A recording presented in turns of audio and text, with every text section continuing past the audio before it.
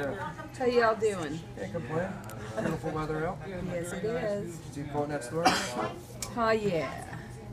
Yeah. Your name's Alexander? No. Your name's Alexander? That's his last name, Bob. Huh? Oh, oh, I thought it said Alexander first, the first name's oh, There you go, babe. Got a couple. Oh, look at That's you. Jules Gary. Yeah, but I walked up here before you, how did she give you yours first? Because I'm cooler. Okay. The truth is rude. Yeah,